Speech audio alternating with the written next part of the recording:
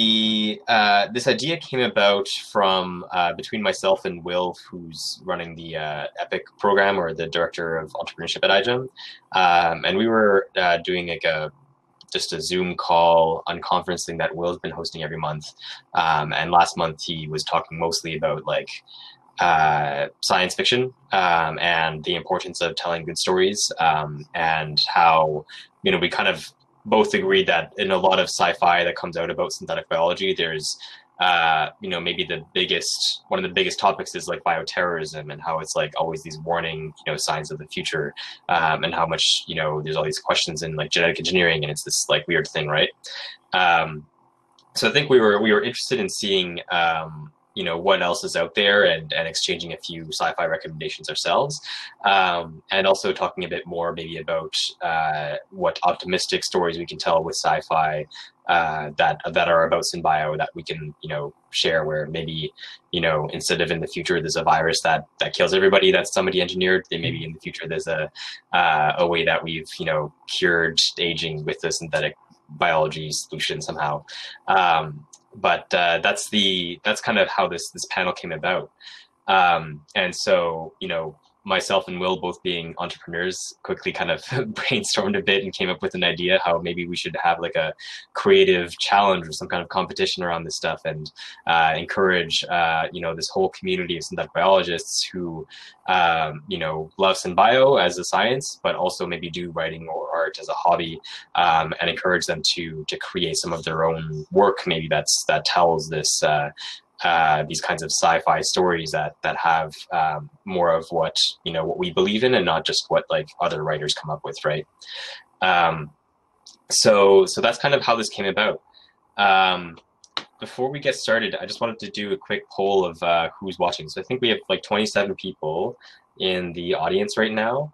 Um, and i wanted to do a quick thing where we're just in the chat uh, write the city uh, or country that you're from uh, the time of day it is, and and also what your creative hobby is, uh, or if you're just here to you know reading is also a hobby. If you just observe sci-fi fiction, uh, that's cool too.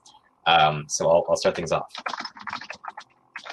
So Montreal, uh, current time is the morning, I'm having breakfast, and creative hobby. Um, I'll just put like dance because that's one thing that I'm that I am interested in. There we go. So if I could get like 30 people all, all chiming in there, that'd be great. Um, cool. So I see, I see Tamisha from uh, from Ghana, uh, who's interested in writing and modern calligraphy. Um, Eric from Mexico uh, was writing. Uh, Martin does antique trading. That's yeah. wonder how, how that, that doesn't go in the sci-fi direction, I guess, but it's more looking in the past, right? uh, Madeline, morning reading. Yes, good. All right. Cool. Um, and so I know that there is tons of creativity in the iGEM community for sure, because we see these like ridiculous dance videos every year that are all hilarious, and we like to watch the Jamboree. Um, so you know we're kind of going beyond that maybe a bit and seeing what else we can produce here. Um, so yeah, Hasnain uh, from Pakistan, 6:20 p.m. writing, cool, good.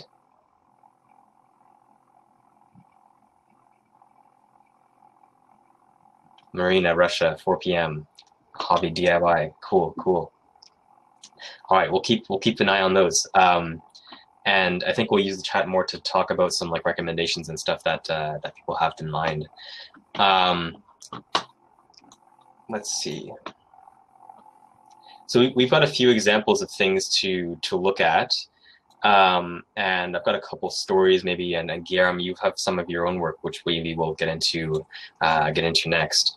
Um, but how about to kick things off? Why don't I finish sharing this this video that I pulled up here, um, which is is called synthetic biology. And and if you've hung around, maybe you've seen this video already. But I think this is kind of in line with a bit of like the, you know, optimistic artistic future of synbio that we can start to think about. Um, and and so this, I think that kind of you know lines up pretty well with like this optimistic future of what we could do with synbio. Uh, of course, you know we're a long ways away from having bees that you can drive like a car or something like that, or like jellyfish that go through space. Um, but uh, but you know that's how far we can let so we can let our imaginations go here. This isn't uh, we don't need to talk about feasibility in in this panel session for the next like 20 minutes or so. We can we can dream. Um, so so now maybe uh, Guilherme, do you want to talk a bit about uh, about your work and uh, uh, tell us a bit about yourself? Yeah, sure, sure. Um, so I'm, i work with uh, After iGEM, as some of you may know, uh, and I also, I also run a startup called Gabiru. We develop affordable educational technology, and my hobby is writing, and it has been writing since I was a kid. And uh, I, I, write a lot of, of uh, science fiction, not always about synthetic biology, because I, I, started writing before I started doing synthetic biology. Um, and I, I wrote a book that is very has a very ugly cover. It's in Portuguese, so luckily you uh, won't read it and figure out how bad I am. Um, but yeah, I write sci-fi, and it, it, it's my hobby, basically. Cool. So tell us, uh, maybe tell us a bit about this, the book, or, or what it's about. How does the, the plot go? So um, basically, the idea behind writing it is that uh, I would like to um, look in the future, like 100 or 200 years. Um, and as you, you were talking, usually we see dystopias because it's uh, easier to build conflict if the yeah. scenario is in conflict. Uh, but this is a utopia, like what is the best world that we can 200 years. So basically the plot is about um, an island, a country, a continent, whatever, um, that undertook an um, industrial revolution 500 before the rest of the world, and they isolated themselves and they developed their science and tech, and they just exist. and some folks try to find this place. Uh, someone in medieval times found it and described it, like described the current world with the eyes uh, of someone from 500 years ago. So he was talking about monsters made of steel and glass, and this is where we live. Um, and basically, there, there are those tales, and they try to find this place, and then they can't find it. But uh, the people living in this country think, okay, let's bring them home. And then they just visit this place. And uh, it, it, has a lot of synbio inspired scenarios, like uh, basically they rebuild uh, the animals that we kill, uh, we make go extinct like Revive and, and Restore that is sponsoring oh, yeah. this year is trying to do, but they, they kind of do it that. Um, yeah, so basically they are now inside this country and uh, they can't leave because they saw the future. And basically this uh, is ah. kind of the plot. Yeah. Interesting. That sounds like fun. Uh, and I yeah. guess it's not translated to, to English yet, so I, I no, maybe no. I won't.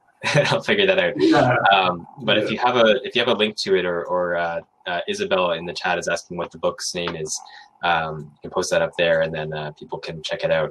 Um, and maybe we'll get a translation at some point. let's see. Let's see. It's uh, see. Journey yeah. to the Unknown Island. Journey to yeah. the Unknown Island. Yeah, because it's on an unknown island. But basically, it was like uh, for fun. Like uh, I didn't make money it. Just a hobby. Yeah, yeah, and that, that's super cool, and that's what uh, you know. I think that's kind of what we're trying to engage here with uh, you know the competition that we're having and, and also my outlook on this whole thing like i don't you know i'm not a professional writer i'm not a professional dancer i'm not a professional artist in any way. Um, but i do you know i do have hobbies and and it seems like a lot of people here have hobbies too. And it's, it'd be super fun to kind of like you know have this this casual exchange where we're just talking about sci-fi exchanging each other's work.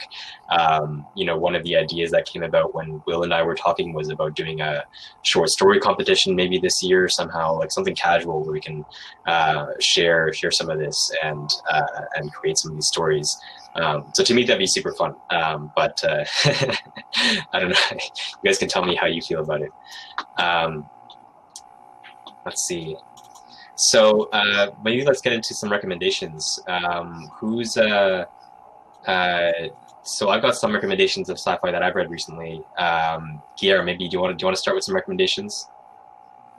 Okay, uh, so actually the the recommendation that I usually give is a 200 years old book called the, the Frankenstein or uh, the Modern Prometheus. I, I don't know if you ever read the actual book. Like we, we see the monster. It's not even called Frankenstein. Frankenstein is the scientist that made it. But usually we see the monster in, in popular culture. Uh, but the actual book is very good. It, it is talking about engineering life 200 years before CRISPR was a thing. Um, and it's very interesting because it, it, it, talks like it uses the, the, the synbio. You can talk about synbio 200 years ago, but it uses the scientific scenario to talk about society. Uh, so basically, it, uh, things go bad, and this is not a spoiler because it's 200 year old book. So, uh, but things go bad not because of the science, but because of how society reacts to it, how the the science scientist itself behaves. It goes bad uh, bad because of prejudice, uh, etc. So I, I think it's it's a very important book for anyone that is interested in, in science fiction because it's very good in using this uh, platform, this scenario, to talk about ourselves. And I think this is very powerful in any sci-fi uh, work. Yeah, and I'm guessing in the past 200 years, there's probably a lot of language translations of that book. So maybe that's one that everybody can get access to, right? Um, so my, my recommendation is uh, a more recent one, um, which I actually heard about it uh, from George Church. Um, so I guess that's a good good recommendation, maybe. Um, but uh, it's a series of uh, books uh, that uh, written by the author uh, Cixin Liu, um, who's a Chinese sci-fi author, and this is like I think it's like a world famous book now, but um, it's called Three Body Problem, and it's a super interesting book. Uh, there's a lot of twists and spoilers, which I won't get into, but um, it kind of, you know, uh, tells this interesting sci-fi story and gets into, um, I would say, less in bio. There's some like biotech elements to it that are that are pretty interesting and super cool. Um, but it's a it's a really interesting way of thinking about technology, and and the whole story kind of starts with um, uh, you know, maybe being centered around around Chinese culture as like, you know, maybe the way that you know the setting that it occurs in, the whole like story is kind of written from that uh, uh, that country. So I think it's it was interesting for me in that sense because I feel like a lot of you know sci-fi that I had read before, or like other kinds of things like uh, or, or sci-fi series or whatever, they're usually based around maybe North American context, uh, and it's really nice to see or read something that's from a completely different perspective, right? Um, so that's why uh, I would I'd be interested in, in, yeah reading your book, Guilherme, and see see what what what elements of, of your culture and your upbringing that are different from from mine that that maybe show up in your book. Um, so so yeah, um, I'll write some of these books down in, in this in this chat. So. Um, and if anybody has any recommendations, anything you've read recently that you think is super cool, um, post it up in the chat. Uh, and I think we'll we'll spend the rest of the time maybe talking a bit about uh, you know, maybe a creative challenge or, or also talking about more recommendations. There's a few other links that we've got that we can look at that are just going to be fun, fun, cool things to check out. Biopunk style, Eric and Tuna. Eric, do you have any recommendations for biopunk style style books? Or, or, or films or, or whatever, I guess. Anything goes. Actually, I, I have one here. Oh, yeah? Um, it's, it's, a bit like th- there is always this discussion regarding the limits of science fiction. Maybe it's become it becomes too um, fantasy.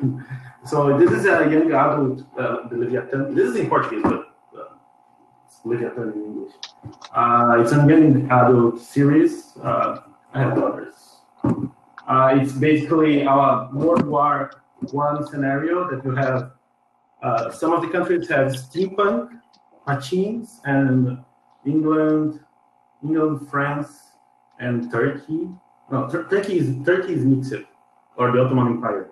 Uh, but some countries have biopunk machines, like uh, living uh, floating whales that work like airships. It, it, it's it's funny. It's uh, yeah, it's young adult fiction. Uh, maybe some of you in the chat read it. Cool. it it's fun. What's the title of it again? It's uh, Leviathan series. It's three books: Leviathan, Demons, right, and Proteus. Cool. And what's the? Uh, let me just write down the author here. So it's Scott Scott Westerfeld. Okay. Oh yeah, Sarah Farr uh, says uh, anything from uh, Ted Chiang's short stories. Um, that's that's one that I've I need to read now too. It's uh, uh, another friend of mine suggested that I read some Ted Chang stuff. Um, and those of you who don't know who, I guess, let me think. Let's go to Ted Chiang's website. I think it's a good example of some more, yeah, recent, interesting sci-fi stuff. Um, but I think he one of his recent books was uh, it became a, a Hollywood film Arrival. Yeah, that's the one. There you go. Okay, thanks, thanks, Sarah. Got my back. Um, and Daniel Daniel Montoya says in the in the chat that uh, uh, Contact by Carl Sagan uh, is a good optimistic outlook of, of science and international collaboration. That's cool. So um, let's go to a couple other places on the internet and uh, and see what else we've got on our list. So all right, Daniel also says Andy Weir is a good one. Uh, the Martian Artemis. Oh yeah, The Martian. That's a good. Uh, uh, that's a good show. that's fun. Um, um, so Will's asking us also to go to check out Neolife Visions, uh, and this is a this is brand new, I think. Um, Neolife as a whole is like pretty recent in, in their whole development, but I think it was uh, some people from uh, Wired magazine that that started up this new media channel. I guess they wrote this book that's that's all about um, uh, you know same like technology, Silicon Valley style media, um, but more focused on like life sciences and, and synthetic biology. So I think quite a few people. I'm watching this. I think I've got a book that's on its way. I haven't read it yet because it hasn't shipped yet, um, but that's something that's uh, that's coming up. Um, another link that we got left with was uh, for iGEM's 2019, uh, the Stockholm team. So I don't, I, don't, think I saw anybody from Stockholm in the chat yet, um, but they put together an art exhibition, um, and I think I've seen a few. Uh, in the history of iGEM, we've had like some past uh, like art exhibits or um, even like an art and design track at, at some point. Um, I remember seeing that, and that has always kind of come and gone. I think I think iGEM has had this funny uh, maybe back and forth of trying to figure out how to integrate more of this like art and creativity into the competition, right? Um, but here you can see, and there's a oh they made a booklet for the whole the whole exhibit. So this is all about synthetic biology. Um, I think it says that it was hosted in a old nuclear reactor, so that's pretty cool. That'd be fun to visit. Uh, and then they've got the list of, of artists and the different different pieces. So anyways, you can check that out um, if you're. Uh, this is more, yeah, going beyond beyond writing now. I think we're getting into like more or other stuff. Um, and there's one more that uh, that Will Will had sent, which is biofiction.com. And I hadn't heard about this until Will sent me this. Or I think I've heard about it, but I haven't watched any of the videos here. Um, but this seems seems great. It's like a science art uh, film festival, uh, and so give it a second to load. Um, I'll post that link in the chat too.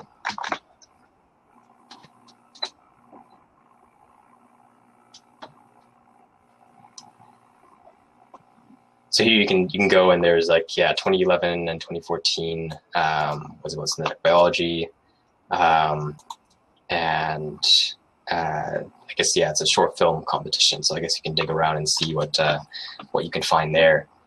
Um, and and that's what we got so far. So I think that's that pretty much wraps it up for uh, I think what we were hoping to get through with this session. And um, uh, yeah, cool. Um, just reading the chat a bit. So, so I think the, the open question here is like, you know, what do you guys think of this stuff? Uh, is this something that you really want to engage more in? Like, would you be down for like a creative competition? Uh, maybe you want to help organize something like that. Maybe you want to help judge it, or uh, maybe you just want to hang out and like have fun and just talk about sci-fi stuff because it's just like fun to do, right? Um, so, what do you guys, what do you guys think? What do you think, Jan? You, we even talked about this. Oh. I think I've only talked with Will. Yeah, yeah. yeah, I think this is a great idea.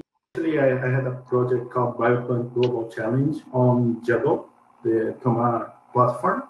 Oh yeah. Uh, we, we actually gave up because of the whole pandemic because we thought so usually uh, answering that question about biopunk biopunk usually has this um, bad future vision like dystopic future so we thought that it wasn't a good idea to talk about a dystopic future regarding biology with the world that we are right now i, think uh, what you are talking about about pushing for this optimistic vision is much more interesting so yeah, I think it's amazing. I, I think it like um, um, a short tale or um, like I, I, think we can split it because it, there are so many different and exciting things that we can do.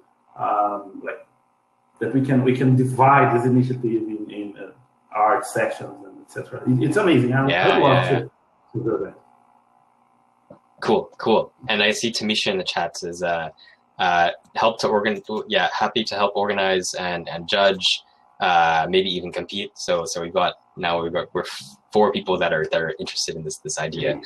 Um,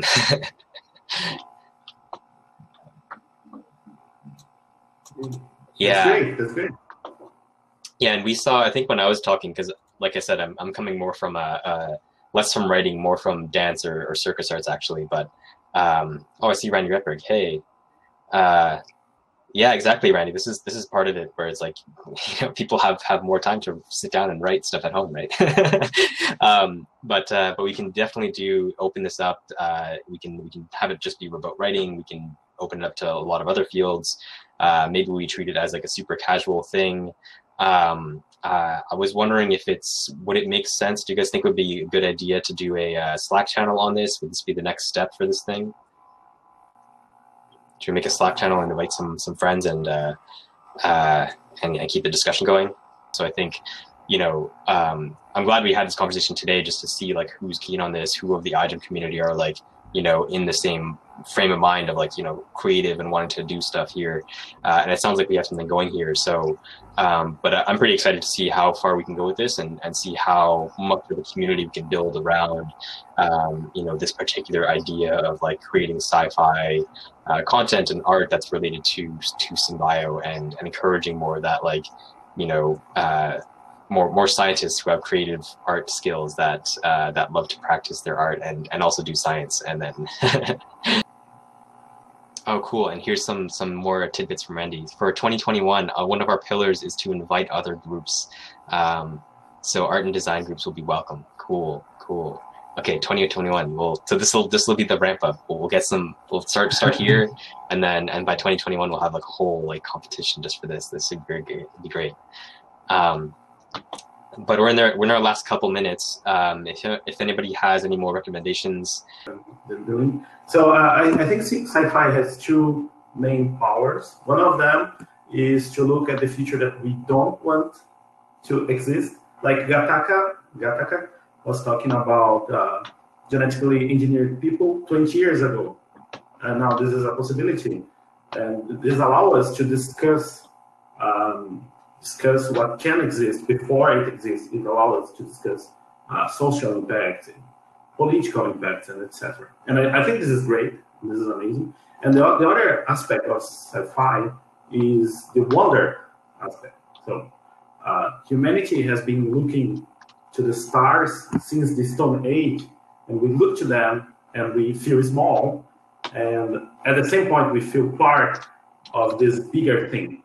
And then when sci-fi about space exploration started to exist, everyone was super excited about it because it was talking about the unknown. It was talking about adventure. It, it was talking about exploring, and uh, it, it, relates a lot from uh, with this feeling that we have uh, when we look to the stars in the sky. When we talk about biology science fiction, biopunk or whatever you call it, uh, it, it is different because it's not talking about an unknown that exists out there. It talks about ourselves.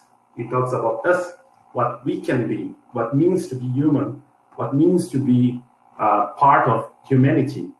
Are we a multicellular organism composed by 7 billion cells? Or are we fungi fighting in a petri dish for resources and killing each other? So, uh, biology, uh, when we talk about the future of biology, um, we talk about understanding more ourselves and this is extremely powerful, and this is uh, extremely inspiring, and this can bring much more people to science, and this is what we want in the end of the day, because then we can build this future uh, earlier and enjoy it.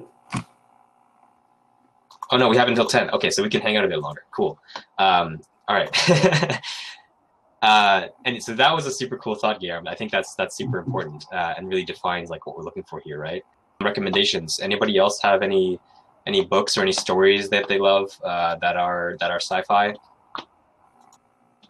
So I, I know that Hasnain writes poems about science, and he has a Ah.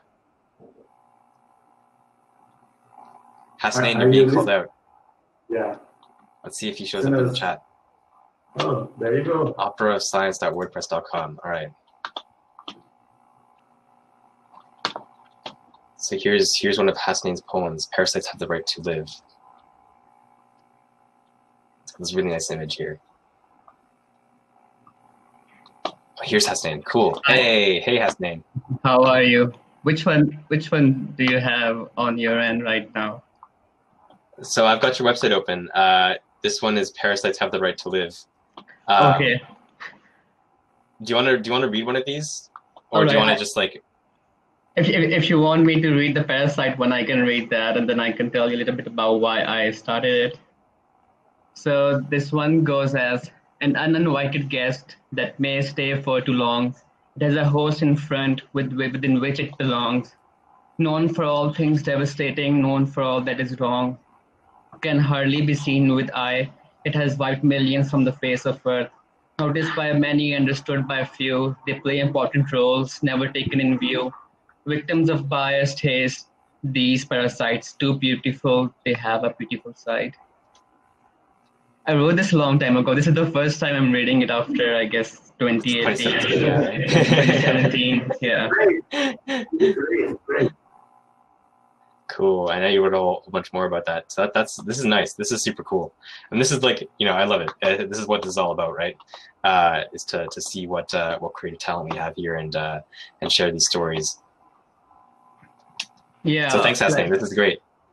I started it like I started while I was doing iGEM as well because I wanted a place. So I, I had been writing poetry for a long time, and that was basically dystopian. And I was like, I should somehow collate both my love for science and poetry the same place. So I came up with this. I was thinking about what should have been the title of it, and I was like, since opera has this is uh, a, a sense of where you are submerged in music and submerged in a feeling and that's that's the same that you can find in poetry as well and having it collate with science would be a good idea too so that's going back to it in 2017 i haven't been able to follow up on it i wrote i guess seven or eight poems back at the time but i guess i might if, if the challenge comes up again the, the one that you have made i might start writing it again Yay! Yeah. It is kind of like synbio related and, and does get into a bit of the future. Um, and this is a, a short podcast uh, from 99% Invisible um, that inspired me a lot uh, a few years ago, actually. Um, but it was about uh, storage of nuclear waste and, and how to create future warning systems uh, that that will warn people about you know where nuclear waste is stored, so that you know 100,000 years in the future, people don't accidentally dig uh, somewhere and find nuclear waste. Um, and you should you should listen to it yourself because it's an interesting story to tell. Um, but basically, one of the outcomes of this this story is that uh, actually maybe it's a I don't want to give a spoiler here. Okay, anyways, go go check it out. You'll you'll enjoy it. But the, the solution, one of the solutions is is genetic engineering. So you can imagine how you one might uh, use genetic engineering to uh, to figure out how to send a message uh, more than hundred thousand years in the future, um, and and that's this is like yeah pretty creative. Um, but this is a real problem back in the uh, yeah in the 1990s. Um, people were like you know asking writers and artists and stuff to come up with solutions for this this concept of sending messages that far in the future because uh, uh, you know that's longer than human history. There's no record of any messages that have been sent that far uh, from our past, right? So this was posted. Uh, so Nana posted this. Nana Oye Dayan from uh, I'm not sure where you're from, but I'll scroll up in the chat and find it.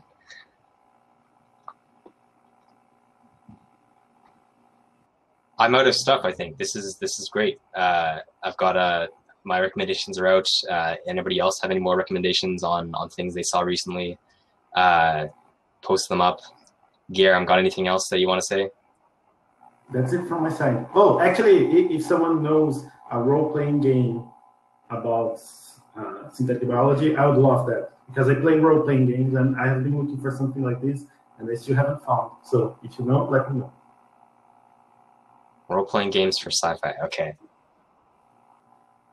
And speaking of games, I guess there's uh, I don't know if there's anything, any particular board games or like video games that people have in mind um, that kind of like you know uh, uh, line up also with like the synbio or sci-fi theme. Uh, I mean, Pandemic is a pretty popular board game, but that's that's just about that's like real life now, I guess. It's not like you have to play a game to end up there, right? it's a very fun board game too. um, but I played the Bioshock series when I was growing up too. That was a yeah. whole the whole. There's a that's more of like a dystopian future kind of like weird stuff going on. But uh, the theme in that is that you have plasmids, which like you as a character, you're running around and you, you gain plasmids, uh, and that gives you the ability to like shoot lightning out of your hands and stuff, right? Which is, you know, iGEM project's idea number one is to engineer my lightning hands, right? Uh, or like laser eyes and stuff. definitely. And well, if you if you think like this, Resident Evil is also like symbiote. Resident Evil, oh yeah, I guess so. Yeah, true, true. All yeah. these zombie ones are, are kind of symbiote yeah. or something. Yeah, yeah. Um, but this is super great. So, so if you guys haven't seen it yet, or if you're joining late, uh, we've got a Slack channel now. I think we'll try and post up these recommendations in the chat there. Um, but it sounds like we've got you know some people coming together who are who are keen to uh, uh, to to organize something here, or to at least inspire each other, or just to like hang out and share sci-fi uh, sci-fi stories that that we love. Um, and and so it's super nice to kind of like gather a community of people who are you know similar in mindsets of science and, and of the future, um, and uh, and talk about this this this idea of like you know what creative talent can uh, do we have and what can we do. Um, and uh, and so keep an eye out. I think we'll uh, we'll keep the chat going in the Slack as the next step. Uh, maybe we'll start hosting some other meetings or sessions to discuss something uh, if we really want to organize organize something new. Um, but uh, uh, there's a lot of like interesting opportunities here, maybe, and a lot of interest. I think so. Um, I love it, and and thanks for coming, Guilherme. That was that was awesome. I'm glad you uh, thanks for sharing your book. Thanks for sharing your stories. Thanks, Hasnain, for like reading your poem. That was super cool. Um, and uh, uh, yeah, good to good to see you all. See you online. That was amazing. Well, let's make this work now. Yeah, yeah. Let's work Bye, everybody.